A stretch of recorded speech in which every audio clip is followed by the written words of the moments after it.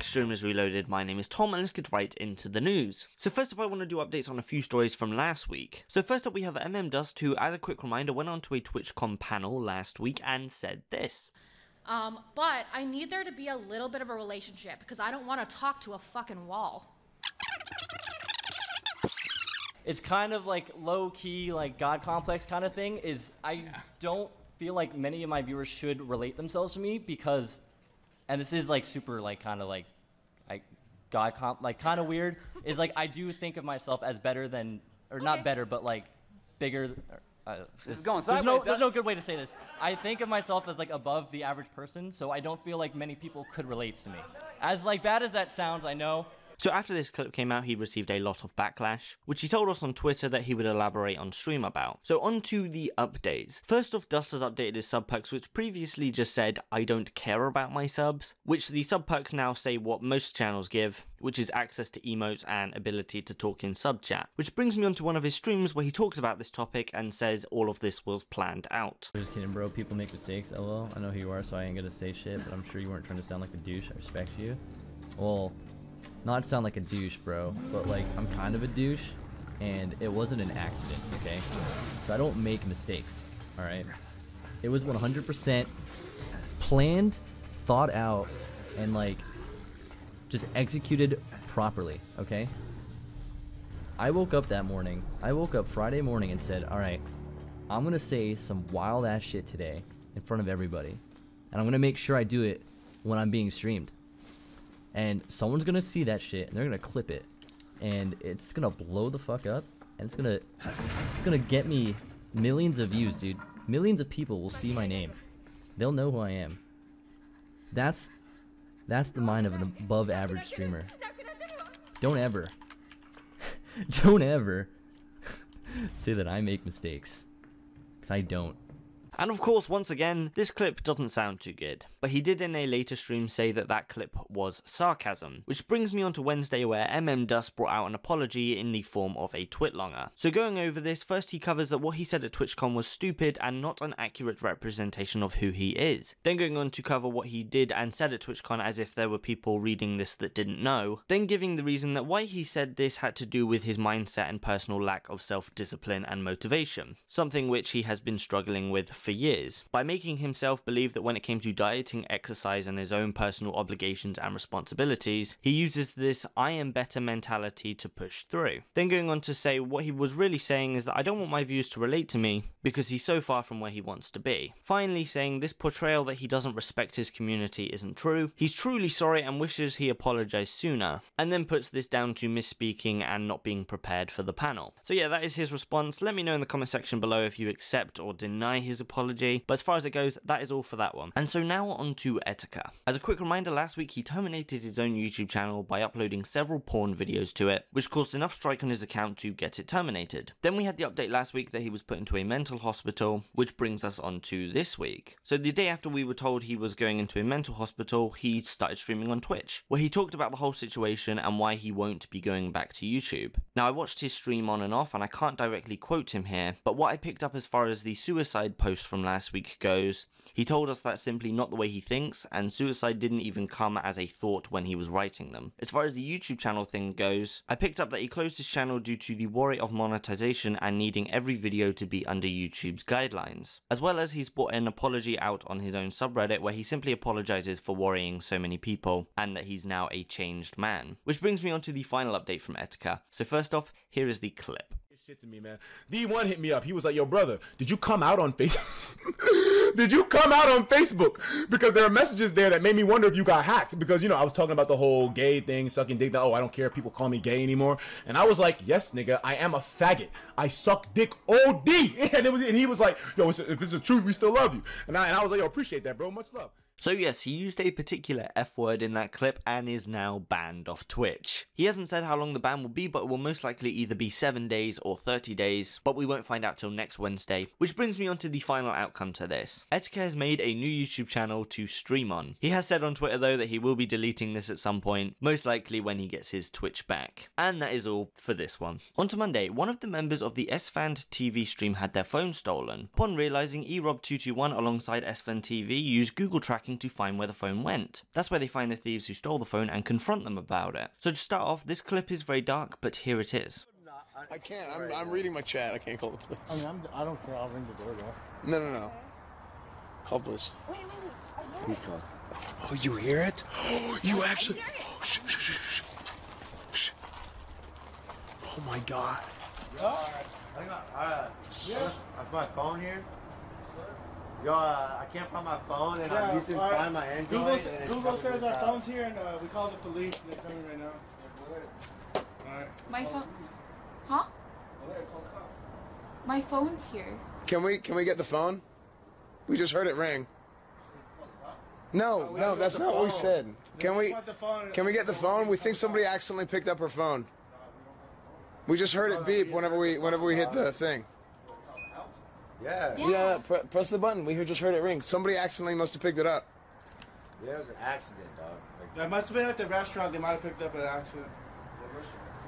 Uh, Or the hotel, you mean? No. Because you had it at the hotel. Let's see. Press the press the button again.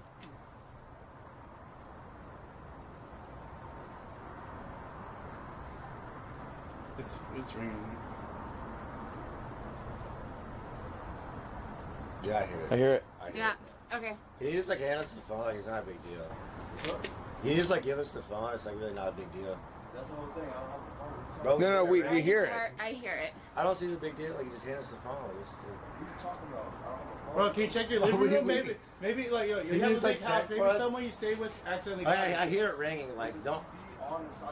No, Yeah, but that's but weird. we As soon as we hit the call button, like it starts ringing. That's weird, dude. Like. Uh, Yeah, just call the cops. say Call the this- cops. this- Call the Call the cop. Can you call the cops? Why you like? I don't. What's the E-Rob, big deal? E-Rob, E-Rob, call- call- call- yeah, I Big don't- deal. Just hand us the phone. Yeah, Like, where- where- look, get off- get off his property. No, we're not. Somebody else might have picked it up. So from here, they confronted the thief who stole the phone, and even after hearing the ringtone, the thief still denies having their phone. So from here, they decide to walk away and call the cops. No, I'm I'm in, I'm outside and I hear the phone inside, but they're claiming that they don't have the phone.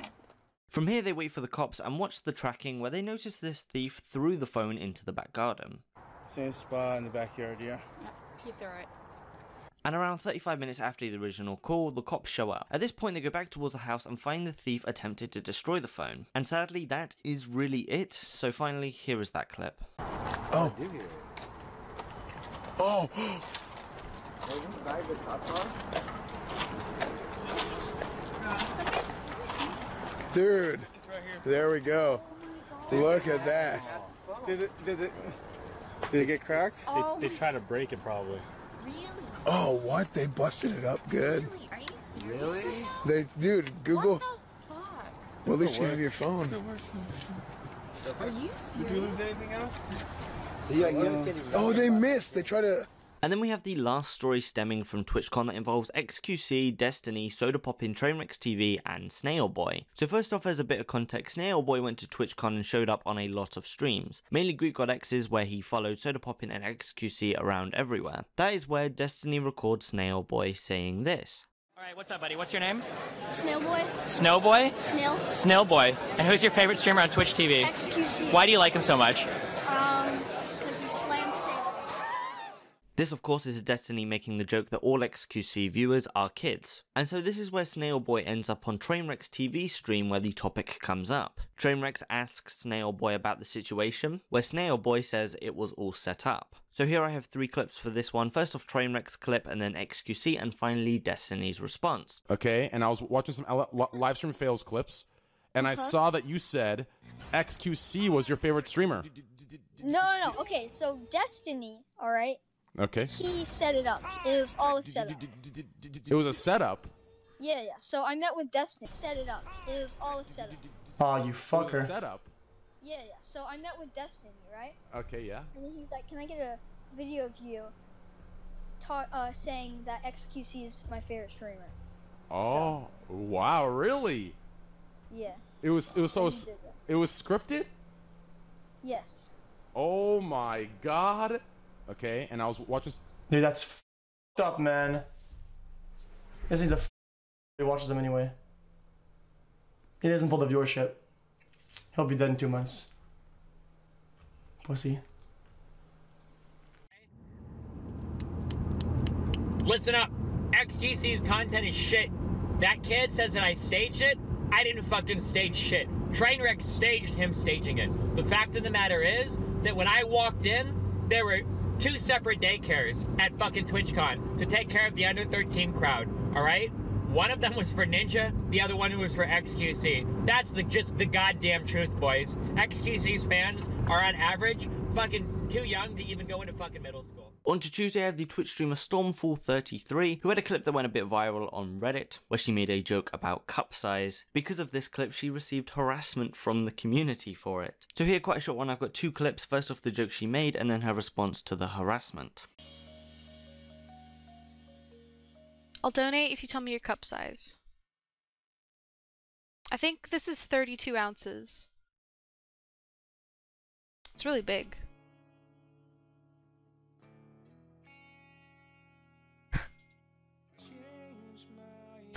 I've gotten so much harassment from this clip. It's fucking insane.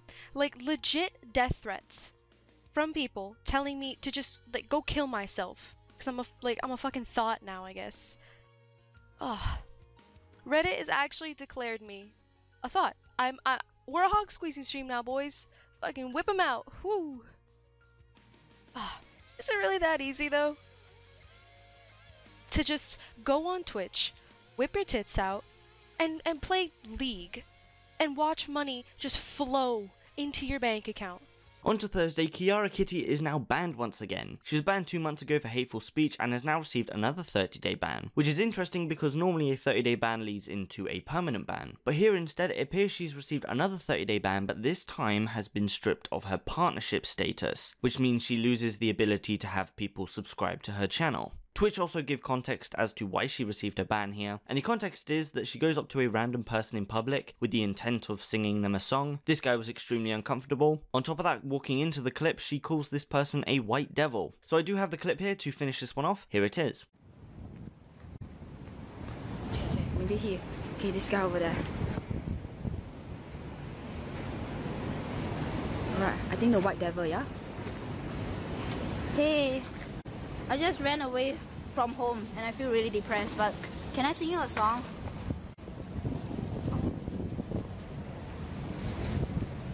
What the fuck? Yo! Yo, did he just ask me to fucking motherfucker? Yo, bitch! Bitch, I, I told you, I told White Devils Fuck you guys! As well on Thursday, we have another ban, this time permanent, that comes from the user the underscore fapgod, who was doing a 12 hour stream and received reports based on his name. Because of this, his channel is now permanently banned because of it. He's reached out to Twitch and received a response that says they will unban him but not his account which will stay permanently banned. So what he has to do now is create a new account which he has under the underscore foxgod and lost an account with almost 3,000 followers. And so the final one for this week comes from Rin, who is the lead artist of the game creation of Everland, which is Reckful's game. And this starts when she said this on stream. If it was work, Everland should pay for the ticket. Well, Byron is like, Byron is like pretty scuffed boss. So, you know, I mean, he's a Jew. So yeah, this was in reference to Reckful's employees having to pay for their own tickets to go to TwitchCon, where Everland, the game Wreckfall is creating, had a booth. So the outcome to this is that Rin told us on Discord that she received a 30 day ban for what she said. Never mind, there is one more from Saturday where Sodapoppin at BlizzCon ran into SS Sniper Wolf and said, Your life sucks. That is where Momo-kun, which if you know about her, comes in and calls Soda an asshole. This of course had quite a big response on Reddit, but anyway, to finish off, here is that clip. It's Sniper Wolf. SS Sniper Wolf. Oh my god, you're in so much drama. Yeah. Yeah, they keep stuck. Your life sucks. Stop, stop, stop. It, it says you're in drama. Don't cause drama. Oh, you're kind of an asshole. Yeah. I am. I'm so sorry. No, no, no. I think she's great. I'm so sorry. I'm an asshole. You are. What did I do? Introduce yourself to someone, dude. Don't do that. I'm sorry. Awkward chance. I'm always awkward. Go. Try again. Can I? Hi, my name is Chance. It's really nice to meet you. What's happening?